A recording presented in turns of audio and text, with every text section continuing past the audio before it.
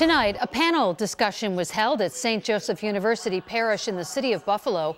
The panel featured five speakers, including yours truly, who all shared thoughts and perspectives on the current priest sex abuse scandal in our diocese and how to move forward through the crisis.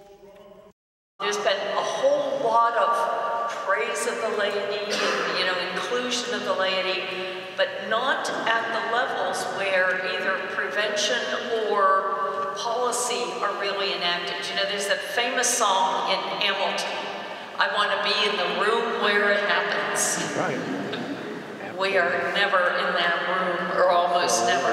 And so we need to create some new rooms and get different named places at the table.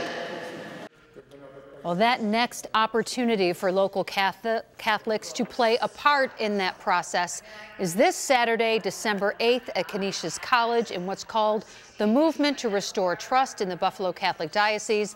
There's more information on our website about that event and also next month's seminar at St. Joseph's University Parish on WGRZ.com.